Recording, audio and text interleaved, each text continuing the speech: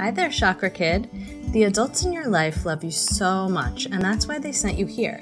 They want you to discover all of the magic in the universe, but sometimes they have a hard time explaining it to you. So they sent me to show you the way. Think of me as your mystic guide. I'll not only help you discover the tools you'll need to navigate your path, but also when and how to use them. I'm Carly, a licensed intuitive therapist and magical wizard that helps kids like you connect to your inner power, listen to your heart, and share your voice so you can grow up living the life of your dreams. So grab your favorite snack and get cozy. Invite your grown up to share in the fun because mystical, magical adventures are about to begin. Hello, and welcome back to the Chakra Talk podcast. So, today I'm going to be sharing with you all about chakras. I figure if I have a podcast that's called Chakra Talk, that's one of the first things I should share with you, isn't it? especially because when I learned about the chakra system, the modern chakra system, I absolutely fell in love with it. I learned about it when I was taking my very first yoga training many years ago. And this is something I absolutely would have loved to have known about when I was younger. It's the perfect way to empower yourself and to connect those areas of mind, body, and spirit that we've been talking about. Now, imagine if you had a map to your very best self, one that you could follow to help you find balance and happiness in all areas of your life. Well, you do, and that map is the chakra system. The blueprint exists inside you and inside of all of us. You may have felt your different chakras and not known that that's what they were. So, like when you've had butterflies in your stomach, when you feel nervous, or your throat feels tight before you need to speak in front of people, those are your energy centers being activated. Okay, so what are chakras? Chakra is the Sanskrit word and it means wheel or circle. It's actually pronounced chakra, but in the West, we often say chakra. In ancient India, yogis were the first to define the chakras as energy centers that are located along the spine. They considered the chakras to be subtle energy system, and that means that it's something you can't see or you can't touch, but it's where energy flows. And the yogis believed that these energy centers became blocked when you had, when they experienced life challenges or samskaras. And that made it so their energy couldn't move freely throughout their body and create that feeling of wellness and balance when you're really connected to your true self. So imagine like a bicycle with all the different gears that work together to help move the wheels. And if one of the gears is stuck, then the others won't be able to move either. And you're not going to really go anywhere. Or sometimes I like to imagine a river with big rocks in it that are slowing down the flow of the water and it can't move freely downstream. So if there's too many obstacles in the way, the water will be stuck. And if you move them, then things will be able to flow more easily and fluidly. So they did daily practices of meditating and visualizing each one of these symbols. There was a symbol associated with each chakra, and they imagined them along their spine and they chanted a special mantra and a special sound that was associated with each one. And the yogis believed that the sound could dissolve those knots of energy with sonic power. So imagine it coming in there, kind of blasting it through, and then there's a clear pathway. So their life energy could flow freely through the chakras, up and down their spine, and then all throughout their body. And with that energy moving freely, they could connect with their highest self, their true best self, and live in the world from that place of connection.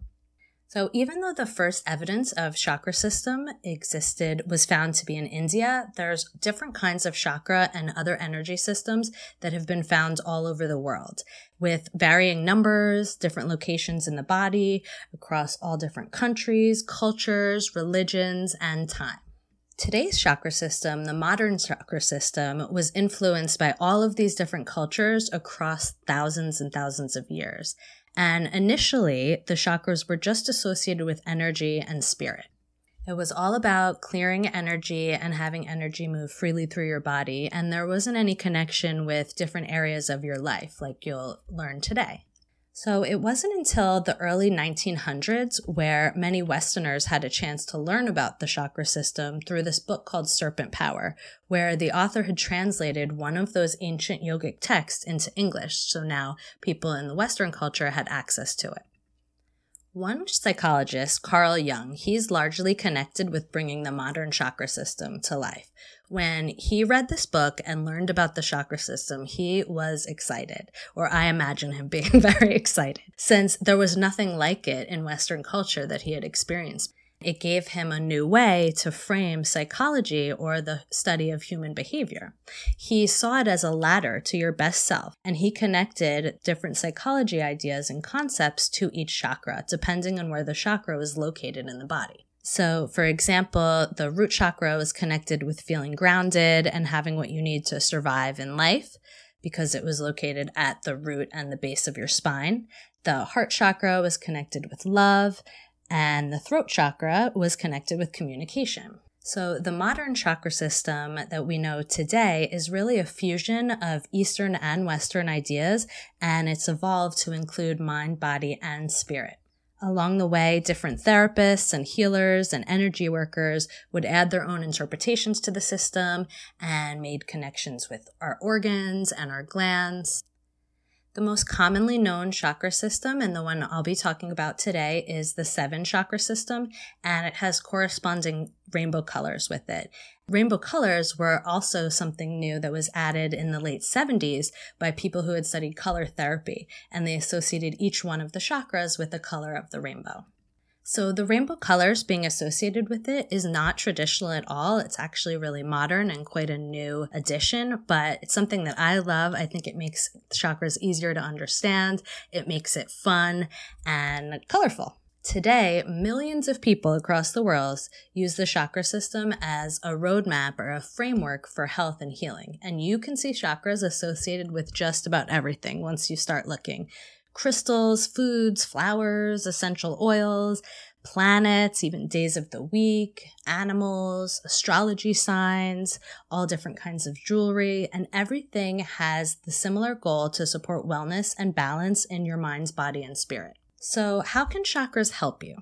When you understand the chakra system, it's like having a compass where you know how to direct your attention and then what tools and strategies are going to help you come back into balance. It's a way to balance your energy and bring balance to all different areas of your life. And as I had shared before, when you have different challenges or conflicts that happen in life, the flow of your mind can get blocked in one or more of the chakras or one or more of the energy centers, one or more areas of your life.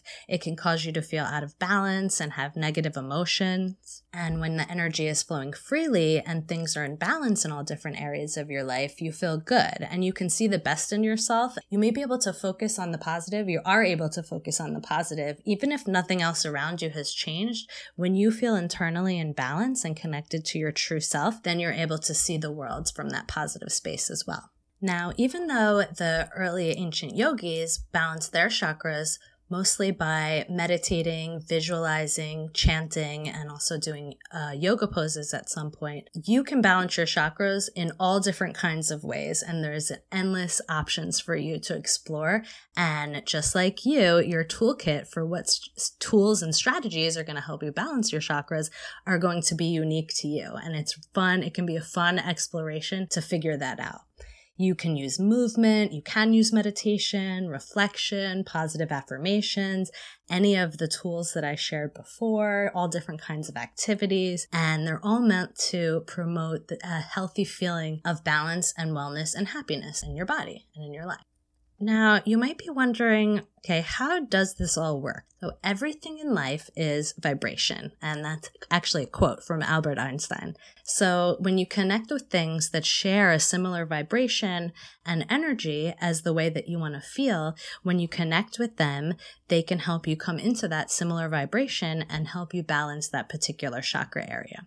So, you'll start to align your energy with the qualities of these different things that you're interacting with or these different intentions that you're interacting with different tools, and it will help you bring those qualities into your inner world and also into your mind and your physical body. For example, when you connect with the color yellow or something that symbolizes fire or the sun, then that can help you feel energized and bring that kind of fiery energy into your mind and body. And that will also balance your solar plexus chakra which is right in the core of your belly. Now, I'm going to share episodes with you at some point soon that go into each one of the seven chakras so you can learn even more about them and the tools to balance them and the different chakra kits that I've created that are connected with them. But I want to share a short introduction of each of them here with you now so you can get a sense of the whole system.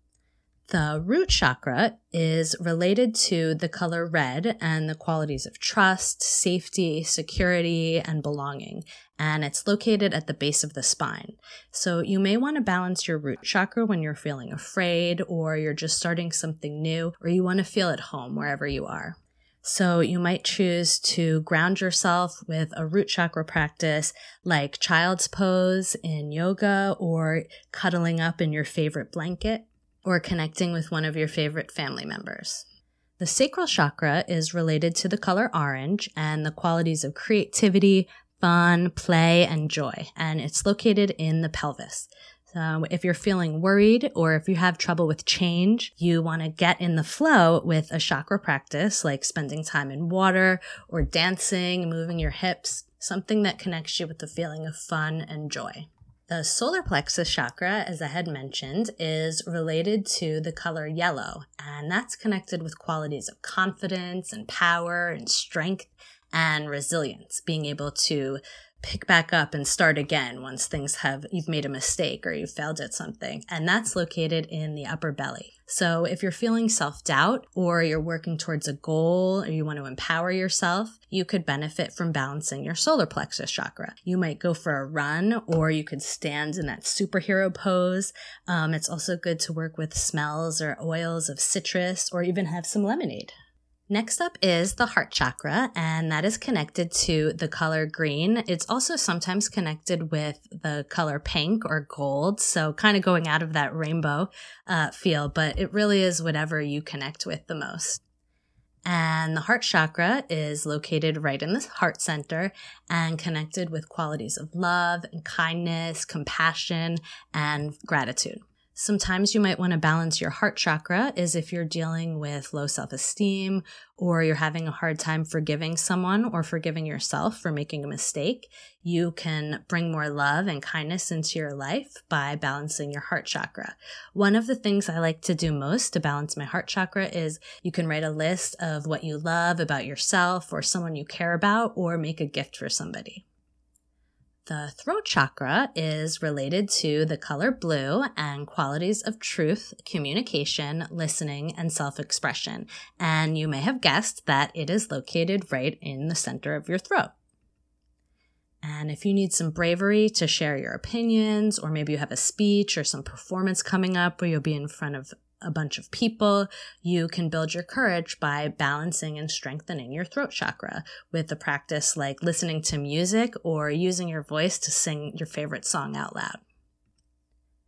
The third eye chakra is related to the color indigo and qualities of intuition and mindfulness, being present, inner peace, and wisdom.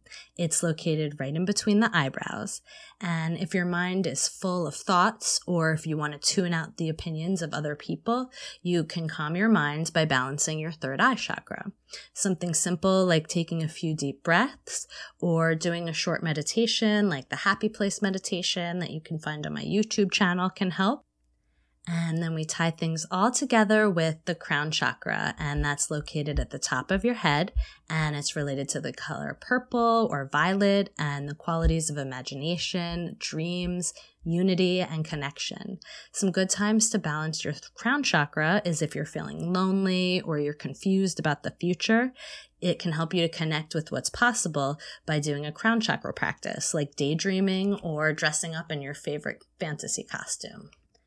Now, when you know what tools you need to solve your daily challenges and without having to randomly choose and go through all of your different strategy every time, or sometimes worse, thinking that there's something wrong with you, that you think you're trying different things and they don't work, that is one of the greatest benefits of the chakra system and one of the things I love so much about it.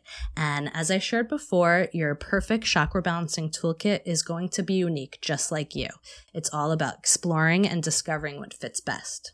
Now, I love the chakras so much that I created characters out of them, and it's a really fun way to get to know your chakras with the chakra kids. Each chakra kid embodies the characteristics of one of the seven chakras their names, their personalities, their superpowers, their clothing, their spirit animal, the colors how they help you and what their lesson to share is, they're all inspired by that specific chakra that they represent. So when you learn about them, you're also learning how to balance your chakras at the same time. So I'm going to share some links in the show notes for you so you can learn more about the Chakra Kids and also a link to a free coloring page that shows you the one of the chakra goddesses, one of the Chakra Kids goddesses and the locations of the chakras, the names, and also a positive affirmation that you can use to help balance that chakra. And whenever you're ready for more, you can join Camp Chakra Kids and hang out with them, the Chakra Kids, for some chakra balancing fun. And they will help you make every day an adventure in happiness. And I will see you here next episode where I'll be talking about crystals and how you can use crystals to balance your chakras, to balance your emotions, and to just attract more of what you want into your life. Did you feel the magic? I sure did. If you had fun on this adventure, ask a grown up to connect with me on my website, innerrainbowproject.com. When they join my email list, I'll send you a free guide of lots of fun chakra balancing ideas to explore. And if you love this episode, I'd be so grateful if you leave a review, because that helps spread the magic to others. Let's continue this journey to happiness together.